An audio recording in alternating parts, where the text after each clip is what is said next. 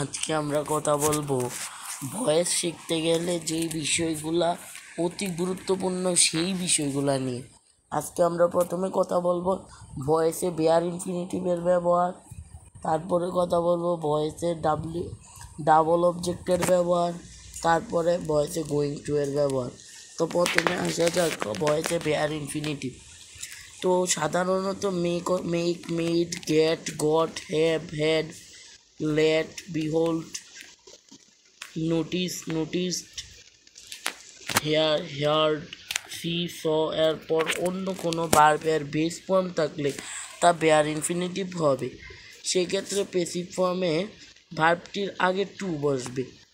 তো যেই ভার্বের মেক মেডের পরে মেক মেড গেট গটের পরে যেই ভার্বটা থাকবে, সেই ভার্বটা পেসিভ করতে গেলে সেই ভার্বটার আগে একটা টু বসাতে হবে। তো আমরা এখন এক্সাম্পল হিসেবে যদি দেখি, প্রথম এক্সাম্পলটা হলো I made him to the work তো he was made to do the work by me তো এখানে হিম একটা অবজেক্ট আছে। তো এটা প্রায় সেন্টেন্সেই মেক মেডের পরে এই হিম বাদে কোনো একটা অবজেক্ট থাকতে পারে। এটা কোনো ব্যাপার না।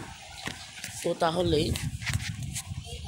I made him do the work তো এখানে হি ওয়াজ মেড তো মেডের পরে ডু বার্বটা আছে। এটা পেসিভ ফর্মে তো ডু এর পূর্বে টু বসবে। যেহেতু আমরা শিখেছি যে মেক মেড মেক অথবা মেডের পরে যদি কোনো বার্ব থাকে ডাইরেক্ট বার্বের বেস ফর্ম থাকে, তাহলে সেটা বেয়ার ইনফিনিটিভ হবে এবং পেসিভ ফর্মে তার পূর্বে একটা টু বসাতে হবে। কিন্তু অ্যাক্টিভ ফর্মে একটা টু বসাতে হবে না। এটা বসানোর কোনো প্রয়োজন নেই। তো এখানে হবে you was made to do the work by me কারণ মেডের পরে ডু আছে। তো এর জন্য আগে টু বসবে। তো আমরা এরপরের সেন্টেন্সটিতে দেখতে পাচ্ছি I heard them singing sing a song তো এখানে হি ওয়াজ হেয়ার তো এই রুলসগুলো আমরা অ্যাসার্টিভ সেন্টেন্স ইন্টারোগেটিভ সেন্টেন্স অথবা ইন্টারোগেটিভের সেন্টেন্সের বয়স রূপান্তর করতে গিয়ে দেখেছি। তো আমাদের এই সম্পর্কে ওইগুলা রূপান্তর করা শেখার আগেই এগুলো আমাদের শেখা উচিত ছিল। তো একটু দেরি হয়ে গেল এগুলা দিতে। তো আমরা তবু আমরা এখন দেখছি দ্বিতীয় সেন্টেন্সটা হলো I hear them sing a song তো এখানে বসবে he was heard to sing a song by me তো এটা এখানে যেহেতু হেয়ার্ড আছে, তারপরে সিংটা বারবার বেস ফর্ম বসানোর আগে একটা টু বসাতে হবে। যেহেতু এখানে হেয়ার্ড আছে, অন্য কোনো বার থাকলে হয়তো বসাতে হতো না। তারপরে হলো I let her do the job তারপরে বসবে হি ওয়াজ লেট তারপরে to do the job by me এখানে যেহেতু ল্যাট আছে, তাই ডু এর পড়বে একটা টু বসেছি তারপরে সেন্টেন্সটা হলো the authority noticed them join the meeting তো এখানে বলবে they are noticed to join the meeting by the authority তো এখানে যেহেতু নোটিসের পরে যে কোনো ভার্ব থাকলে সেটা বেয়ার ইনফিনিটিভ হবে, তো ওই ভার্বটার আগে একটা টু বসাতে হবে। আমরা জানি সাধারণত ইনফিনিটিভ করতে গেলে verb plus to plus verb হলো ইনফিনিটিভ তো আমরা টু এর পরে একটা ভার্ব বসাবো, তো এটা বেয়ার ইনফিনিটিভ হয়ে গেল। তো তারপরে সেন্টেন্সটা হলো I see him go to school তো এটা বলবে he was seen to go to school by me এখানে যেহেতু সি আছে আমরা জানি সি বা এর পরে যদি কোনো বার্বের বেস ফর্ম থাকে, সেটা বেয়ার ইনফিনিটিভ তো he was seen to go to school by me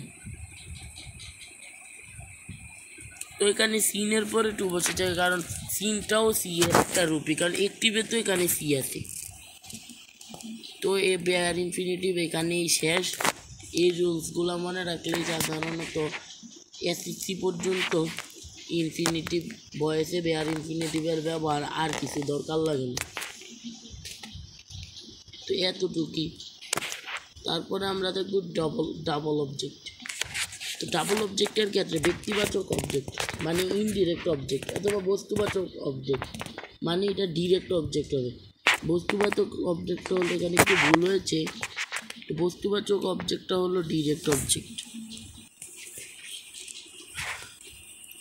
ব্যক্তিবাচক object indirect object অথবা বস্তুবাচক অবজেক্ট ডিরেক্ট অবজেক্ট যে কোনো একটিকে সাবজেক্টে রূপান্তর করা যাবে। আর অন্য ভাবটি অন্য অবজেক্টটি অবজেক্টকে বিক্রিয়ার পর বসাতে হবে।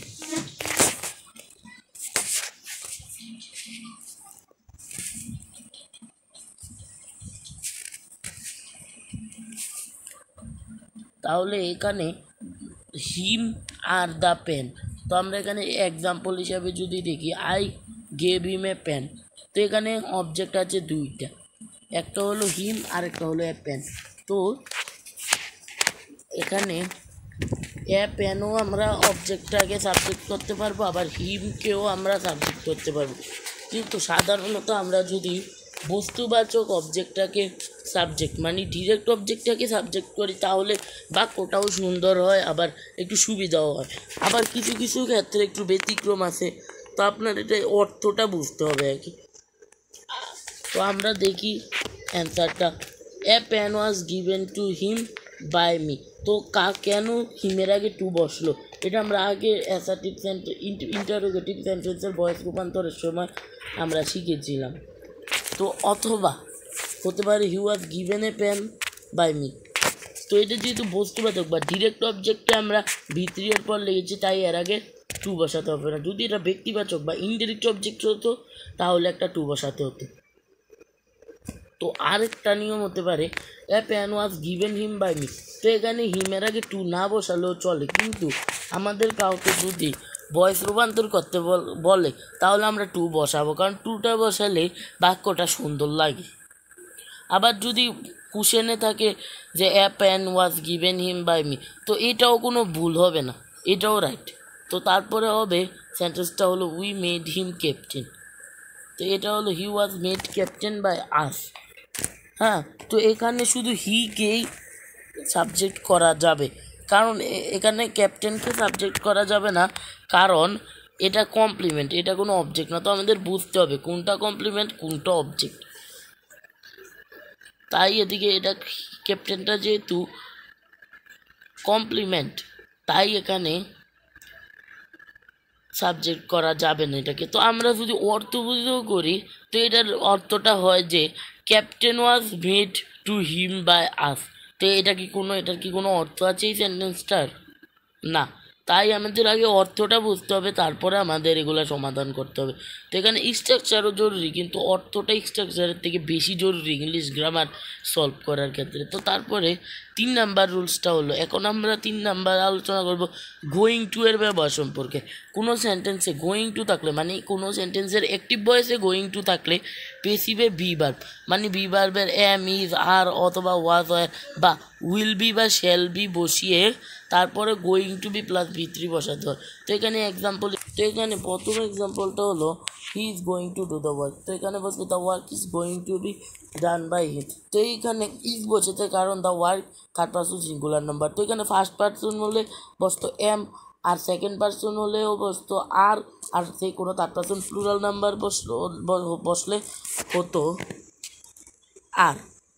তারপরে সেকেন্ড এক্সাম্পলটা হলো they are going to buy a house তো a house is going to be bought by them তো এদিকে সব কিছুই সেম থাকবে। শুধু যেহেতু গোয়িং টুকে এটাকে সেমি মডেল হিসাবে ধরা হয়। তাই এখানে গোয়িং টু এর কোনো পরিবর্তন হবে না।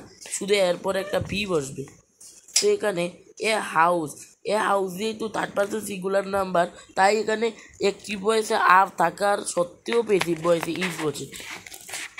তো এই হলো আজকের বেয়ার ইনফিনিটিভ এবং ডাবল অবজেক্ট এবং গোয়িং টু এর ব্যবহার সম্পর্কে আলোচনা। তো কারোর যদি কোনো সমস্যাও থাকে, আপনারা কমেন্টে জানাতে পারেন।